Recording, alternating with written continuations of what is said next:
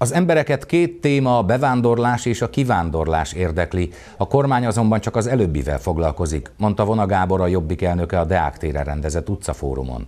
A politikus szerint problémát jelent az elvándorlás is, riasztó, hogy egyes becslések szerint minden hatodik gyerek külföldön születik. A pártelnök kijelentette, ha a Jobbik kormányra került, nem marad el az elszámoltatás. És hát ugyanazok a kérdések kerültek elő itt is, mint az ország több pontján. Megélhetéssel, devizaitelekkel, munkabérekkel, nyugdíjakkal, elvándorlással kapcsolatos kérdések, és ez is azt bizonyítja számomra, amit egyébként sejtettem, meg tudtam, hogy nagyon fontos kérdés a migráció, nagyon érdekli az embereket a migráció, de, de, de nem csak a migráció fontos az emberek számára, nem szeretnének az életük, a mindennapi problémáik ügyében is válaszokat kapni.